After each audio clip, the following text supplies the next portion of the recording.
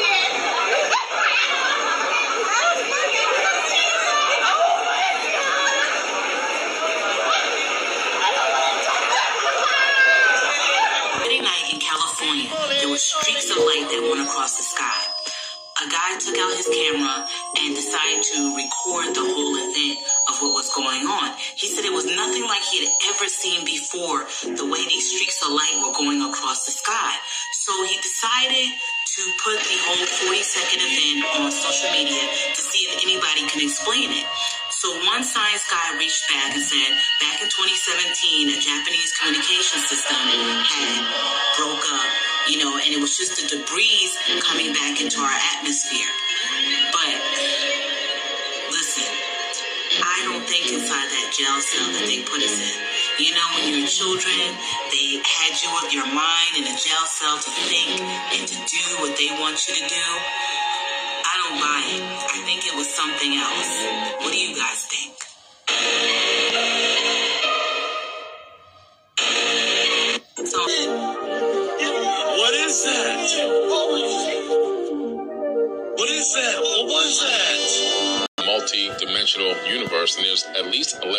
dimensions otherwise the universe would collapse. Each dimension is a 90 degree angle right above the next one compactified so they're sitting right on top of us. So within less than a Planck unit of space above you there's another dimension that actually exists with a whole other universe happening simultaneously while we're sitting right here. From higher dimensions they experience time differently. Time really doesn't exist. The past present and the future happen all at once. So somebody from the fifth dimension would look at us and they'd be able to see us in all the different rooms. The different rooms represent different time frames within this structure. So they can see the past, present, and future at the same time. Weird stuff starts happening the higher the dimensions you go. Atoms are 99.999% empty space. Nothing is really here. Everything is only a light wave slowed down to a particular frequency. And so if you can match frequencies, you can merge with things. You can walk through walls, all that kind of stuff. The things that are seen paranormal could be advanced beings have tapped into some type of uh, understanding of how to match different frequencies in our dimension and appear paranormal, but in true reality, they could just be taking a peek in.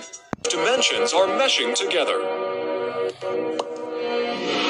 Abraham Lincoln was elected to Congress in 1846. John F. Kennedy was elected to Congress in 1946. Abraham Lincoln was elected president in 1860. John F. Kennedy was elected president in 1960.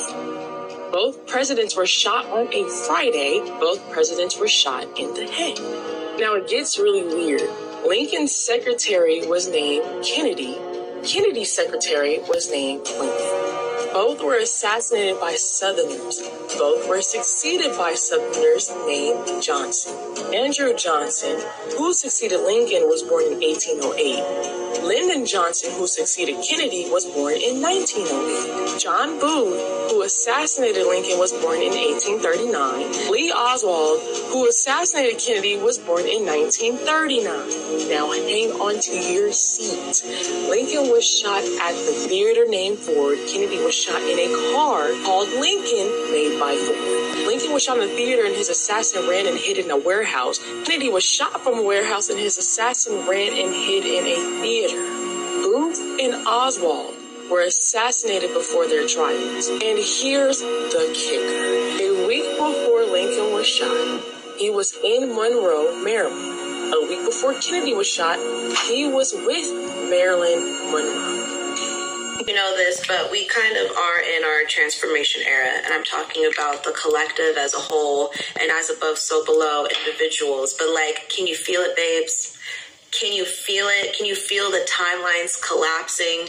Can you see how, even on an internal level, you are letting go of everything you no longer need, everything that's no longer in alignment with who you are becoming? Okay, so celebrate the tower moments. If you've been working on yourself, raising your vibration, really cultivating, returning to self, you can let go of the relationships, the jobs, whatever it was that is being removed from your reality because you're ready for more. You're ready for something bigger. You're ready for a higher reality, a higher timeline. So let those timelines, let those realities collapse. You've outgrown them. It's time now to step into you, to step into a higher version of you. The universe is removing these things because, on a soul level, you're ready for so much more. So let the destruction happen. Let the storm clear your path. If you're in a period of transition, which I'm a lot of us, most of us are, surrender to it. Set your intentions for the highest and best to happen because it's an exciting time. It's not a time to be in fear. It's a time to be excited about who you're becoming. It's a time to start designing your reality. It's a time to honor your essence, to be honest with yourself, to step into this person that you're becoming. I don't know. One thing you must remember is that you're talking about the dimensions the timelines are shifting, this is a this is something that happened all over this universe. All right. For us, it's mental. For us, it's mental. And we, as original beings, we are literally, our lives are being reshaped as we speak right now. This whole false narrative that was created by this artificial intelligence system that invaded our realm. We're watching this collapse. We talked about the hive mind earlier, and the reason for the hive mind is to try to keep our mentality on a third dimensional level because the entities who are running this entire thing cannot evolve into the fourth, the fifth, the sixth, the seventh, the eighth, the ninth, tenth, eleventh, twelfth, thirteenth. They can't go to the thirteenth density. They can't even. They can. They can only remain on the third density. They can't go above above the third density. So the whole point is, I can control the minds of, especially the original beings, because we're the ones who literally make this thing happen. You know, very uh, very few of us have have awoke have awakened among our of our, among our species. But remember, the few literally controls the many. All right, seriously.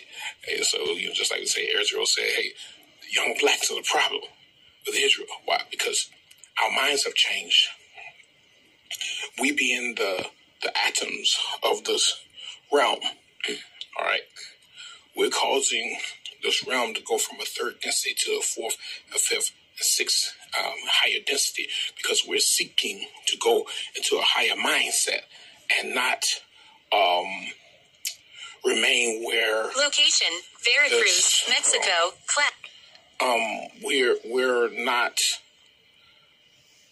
um, we're not comfortable staying on the same level dealing with money, things, cars, clothes. It's like so many of us want to evolve into this higher species of beings, which is like this is where we want to be.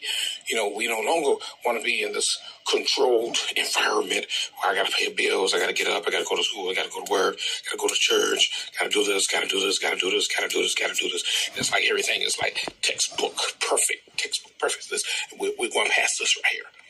So that's the whole hive mind thing. The hive mind thing is all designed to keep everyone on a third density level.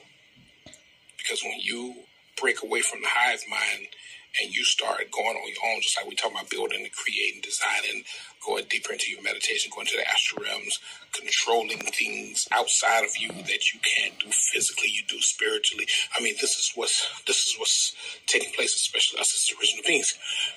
So we're causing we're the atoms uh, of this realm. You have to remember when you start talking about atoms, you're talking about those. The atoms are literally the the the, the uh, electrically charged um, entities that actually control the whole thing. I mean, you got these atoms in your body, and these atoms are working. It's, it's, it's, it's your atoms that's, that's keeping your body going, and it's what this is the atoms that you put into your body that causes you to either die off or to become more powerful and to grow and expand. See what I'm saying? So, we as the original beings are the atoms of this realm, and we're taking this to another level. All right, we're taking to a whole nother level. So understand that, like we said, the hive mind, the hive mind is all designed to keep us at a third density level. We want to control how they think. We want to control everything that they do, so that they will not expand. Keep them at this density, and we can survive. That's all it's about. It's all it's, so it's a thing of survival. Cover the sky up. So if you cover the sky up, there's no sun. They're not going to want to go outside. And then what are they going to do? They want to stay inside, and we can get them connected with this AI so that we can feed off of them, keep them in a third dimensional mindset. You understand what's going on? So yes, the dimensions, this third dimensional system is collapsing as we speak. Our galactic sun, all right, the sun that charges up this galaxy, because there are many suns. Each galaxy has got its own sun this this this is not the one that's, that's east of us or west of us, better yet. It's not the sun that's over this entire universe. No, this is just this galaxy. Each galaxy has got its own galactic sun. All right. That's just how it works. And some galaxies have more than one galactic sun, according to the frequency and the vibration of that galaxy. All right. So as we raise our frequencies and our vibrations, we change things. All right. So um, let's uh, continue on this message here, okay? Yeah. I, I think that dimensions are starting to merge people don't realize that they're merging with their multidimensional self, meaning that the data within their DNA, which is really just a living library of who they really are, is coming to the surface and integrating into their body. Now, when this data integrates, it can cause a lot of different things to happen biggest one has to do with emotions because the emotional faculty is going to pick up on this light, on this data, and you're going to begin feeling things that don't make sense to the logical mind. And for people that don't know what's going on, and that this is a huge part of the ascension process, you can easily begin to see how people can potentially spiral downhill because of this. Hi, my Big Whoa. Now look though. When you see these, on the Egyptian wall, this is symbolizing the needers that could travel into different dimensions, right? The circle above their head is called an egg of metamorphosis. You can see this, it's symbolized by a 90 degree angle shift, right? Different dimensions is separated by 90 degrees. When you see them traveling up a wall of a 90 degree angle, that's what that's symbolizing, right? Now keep listening, the jewels is coming. Now remember I told you it's called the egg of metamorphosis, right? That's what you see above the heads. That's what makes them needers, the power to travel in that 90 degree angle shift, right? I'm gonna show you how different dimensions and all that shit correlate with music. Listen. So once you travel and do that 90 degree angle shift, you can physically leave at will. I'm gonna show you how dimensions work. You see how the, let's just pick the E key on the piano, right? You see how this is your dimension, but there's a, a very definite spot where the next dimension is. This is how this works. I'm gonna show you. Listen. We live in a 7.23 centimeter wavelength, right? You know, like on a computer, when the base hit them wavelengths, ours is 7.23 centimeters. You know this by the distance between your eyes from the tip of your nose to the tip of your chin and across your palm and what separates your chakras is all 7.23 centimeters. This is our wavelength. This is what dimension we are in. If you was to change it, you would literally just change into another dimension. It's 12 dimensions, but the 13th being the next of the first, of the beginning of the next cycle. So it's really the first and the 13th all at the same time, right? We are here in the third dimension. Listen. So just like on the piano, there are 12 notes in an octave and 12 overtones between each one, right? Now, they go that number again. 12 and 12, 144. How you become a hundred, a part of the 144 is by having that dimensional knowledge to leave that energy, that energy field, that astral projection knowledge. Now, back when they created that microwave frequency, this is what they did. They upped the power. We were supposed to be low and steady. They they put it to you'll pay for this shit, and that's why our shit is so. It's a powerful frequency bonding us to this motherfucker. This is an AT&T microwave tower. You can tell it's an AT&T microwave tower because of the way that it is. Here's the microwave antennas. Here's the AT&T. It's pretty neat. This is a microwave tower. You can tell it's a microwave tower because of the way that it is. It's a tower and it has microwave dishes. It's pretty neat. Playing with the fire element. And let me just show you how it went. Uh, so right here, you guys could just watch me um, mess with the settings on the iPhone just to see what I get. He said in the comment that he asked him to show him them, show him themselves. You see the face there? That's the face right there. And this is fire. He, this is fire that he created. And his, like it's a head right there. You see the head? That's the hair. See the head right there? Let's move back a little bit. Let's move back. You see the head? See the neck and the head? The face right there? All connected.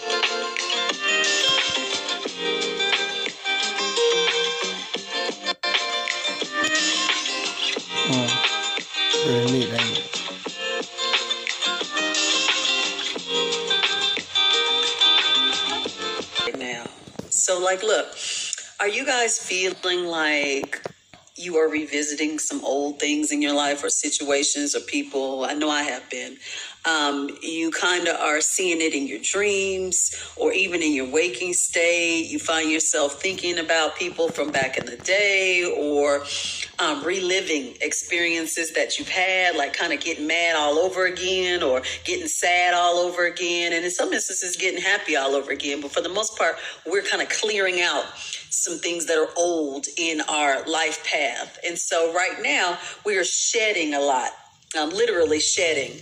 And so if you find yourself just crying out of the blue, or you find yourself getting mad out of the blue, or just thinking about somebody from your past, know that this is coming up um, for transmutation. It's time to like move it out and move it forward because the grid is now pushing us into like the 4D, the fourth dimension. Well, we've been pushed in the 4D, but now it's kind of like the third and fourth are literally merging.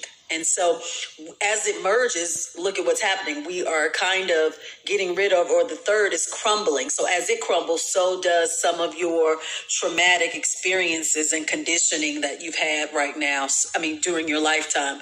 So, like, as these two combine, be in the mindset or just be aware that you're going to be kind of shedding some things. And as a result of shedding some things, you're going to be experiencing or reliving some things. Um, I found myself this morning, I woke up just crying. I'm like, why am I crying? I was thinking about things that happened like long, long time ago, just came out the blue.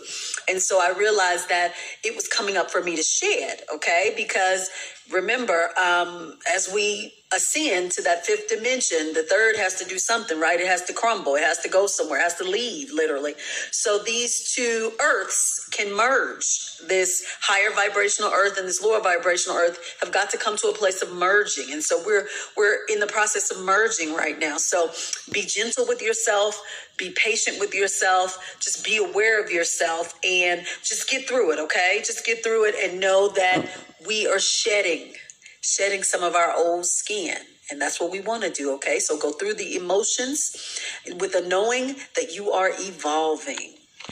Imagine that this folder is a dimensional plane. Now, assuming that it is no height and no depth, what would this mean? It would mean that it's a one dimensional world. So if hypothetically, an organism was living inside of it, it would only be able to move in a linear path forward and backwards in a straight line. Now, if we go to the second dimension, we have two dimensions. We have width and we have length. So hypothetically, if an organism lived inside of here, then it would be able to move up, down, left, right, and anywhere else in between. And a two-dimensional world is comprised of an infinite series of one-dimensional worlds stacked upon each other.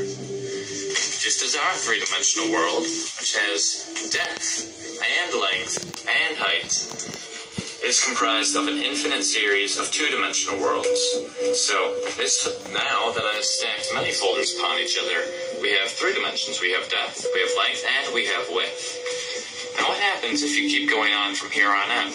We would have a four-dimensional world. But what exactly is the fourth dimension? In order to understand this, we need to understand how dimensions are perceived. We live in the three-dimensional world, but despite that, we actually view things to be two-dimensionally. Take a perfect sphere, for example. If you're looking at a sphere, it looks just like a regular two-dimensional circle.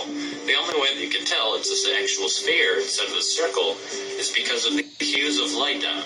So just like in a two-dimensional world, if a um, organism in the two-dimensional world was looking upon a circle, would, the light would make it appear to be lighter at one end and darker in the middle.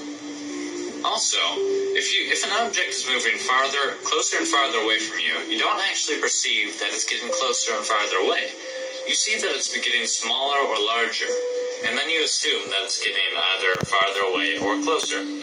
But let's say that an object was to grow in perfectly equilibrium, so that it was growing at the same speed that it was shrinking as you move it farther away then you would not be able to tell without any lights or uh, if there were details on the object that it's moving or growing at all. You may have assumed that since we perceive things to be in two dimensions, that a two-dimensional uh, organism would see in one dimension. So, as we're watching this uh, rubber band expand as it moves farther away from this little uh, organism in the two-dimensional world, it does not actually perceive anything is happening to it because it's growing at the same speed that it's moving farther away.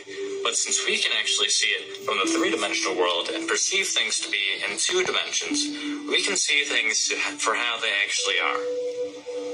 The reason that the two-dimensional organism doesn't see things the way they really are is because the two-dimensional organism sees things in one dimension, just how we, three-dimensional creatures, see things in two dimensions. So in a way, we don't really see our world the way it truly is. A four-dimensional creature, however, seeing our three-dimensional world in three dimensions, would be able to see through things, would be able to see absolutely everything, just as we could see if there was several organisms spread along a 2D um, environment on your floor. You'd be able to see inside houses. You'd be able to see inside of people. So if a two-dimensional world, a flat surface, is just made of an infinite amount of uh, lines, then the 3D world is just made out of an infinite amount of planes. So the 4D world, logically, is made out of an infinite amount of 3D objects. Though they're not just put together like um, you would, like building blocks. It's, that's not how the 4D world is. That would just be 3D again. So in order to understand this, we need to understand the logical progression of mathematics in our world. Imagine that this K'NEX piece represents the first dimension. It's simply a straight line, which is basically what the first dimension looks like. And if you add three more of these straight lines and connect them to, so that adjacent sides are perpendicular and opposite sides are parallel, then you have the basic shape of the second dimension. You have a square. Now, if you keep going from here, and you add, four, add it so that there's a total of four squares, and all adjacent sides are perpendicular, and all opposite sides are parallel, then you end up with, obviously, a cube. So, if you tried to keep going from here, and you would have a four-dimensional basic shape, you would have a what's called a tesseract. Now, I cannot show you a tesseract, but you need to understand that it's basically four cubes that are within each other that um, have all adjacent sides perpendicular and all par- and all opposite sides parallel. Yet there are three lines connect, uh, four lines connecting to each vertex. So a tesseract would look somewhat like this picture. Now, that, that's not exactly what it looks like because this is a two-dimensional depiction, and obviously not all the lines are straight. So I cannot show you what a tesseract actually looks like because we cannot perceive things in the third dimension. You cannot even imagine what a tesseract looks like. You cannot physically, you cannot in your mind picture the fourth dimension or a fourth dimensional shape going on from the fourth dimension even. You can go to the fifth dimension, the sixth dimension, the 71st dimension. It doesn't matter. Theoretically, there are an infinite amount of spatial dimensions. A common misconception of the fourth dimension is that the fourth dimension is time. Now, while some argue that by going forward and backwards in time, if you move forward the same distance and backwards the same, then you would end up in the same place you started, just like in the fourth dimension. And while that may seem logical, if you think about it, it really doesn't make sense. If you imply that the fourth dimension is actually time, well, first of all, time is not spatial. There's a difference between space and time, quite obviously. And assuming that all dimensions are according to a pattern, then that doesn't really make sense either, because saying the fourth dimension is time every dimension has time in it. So that would mean that the fourth dimension is special in some way, which doesn't really make any sense. Another reason this doesn't make sense is that we very, very, very slightly travel through time whenever we move due to the distance um, that light takes to get to our body. Now, if a group of astronauts were to get in a spaceship and they were to go very, very, very close to the speed of light, then they would, and they, they went around in this um, impossible, the speed of light spaceship for a few months, and then afterwards they returned to Earth. They would find that Earth had actually progressed a few years, so they had moved forward in time by moving that quickly. Another interesting concept involving the fourth dimension is that many physicists and even mathematicians uh, may say that the dimensions are very, very slightly curved because if you really think about it, nothing can be truly, absolutely infinite. So imagine that the first dimension, the line, is just very, very slightly curved, so that after a very long time, it will um, end up creating a circle. So, um, as suggested by many physicists, if you keep going in the same direction, then you will end up where you are, where you started after a very, very long amount of time, obviously. And the same thing would happen to the second dimension. If it's just a square, and then you extend it very, very slightly in a curve, and it will eventually make a sphere. And the same thing happens in our dimension, except it will form a very, very slightly curved um, third dimension, which will form a four-dimensional universe, basically. So what this kind of means is that our three-dimensional world is within a four-dimensional world, and the four-dimensional world is within a fifth-dimensional world, and so on. Now, I did say that nothing can be truly infinite, but if this is true, and a dimension is really within another dimension, within another dimension, within another dimension, then I'm implying that there's an infinite amount of dimensions, which is the only problem I really have with this theory. I'm not sure if it ever stops or if infinite infinity is really even possible. We don't know that. Thanks for watching my video, and I hope this gave you a better idea of what the fourth dimension is You can teleport, you can fly, you can heal things. Your thought creates the reality. But there are limitations. You just can't destroy the whole dimension. There are astral police, by the way. The way you meet a time traveler is in the fifth dimension. Oh, they're real. We know they exist. Every time you can think of a potential future, you're actually creating a parallel universe. Your astral body, your spiritual body, it looks like a ghost. Let's say you're having a problem with someone. Go to the astral plane. You create what's called a sanctuary, like a conference room in the fifth dimension. You now summon the soul of the person person you're having problems with. They have to show up. You can now work out your differences. You can do negotiation with them. They won't, on the Earth plane, won't know what's going on because they're asleep now in the fifth dimension. You're down here on Earth, way at the lowest level, Dimension 1, Dimension 2, Dimension 3. You're in 3D, the third level of, of this entire thing. You're only the third level out of all of this. You're only the third level, and you think you're the shit in the center of the world. Uh, you ain't shit. You, you, you are shit. You're at the bottom. You're at the shit level. You're at the dying, dying level, which you think is normal. It's not normal to be in, in a fallen system. This is a fallen system. Uh, this isn't a fallen system. This is following the law of one, and we're glorious. We're glorious beings in Tara, and we're immortal, and we're giants, and we're super psychic. Now, that doesn't mean there's no darkness. Remember, darkness goes all the way up, all the way up to the 11th dimension. Remember?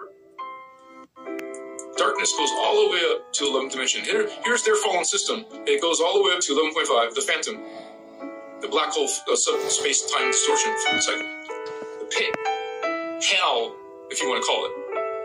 Uh, so darkness only goes up to uh, right before the Christed level. D12 is the Christed level. This is where Jesus comes from. That's why he was called Jesus Christ. It has 48 strands of DNA. See, most most synagogues will have starting 24. You have particle universe, but half of your self, your other self, is a, your doppelganger is a para, is an anti-particle universe. You, you, you have uh, incarnations here. That's why there's beings with 24 strands possible. 12 on this side, 12 on that side. But remember, there's more dimensions still.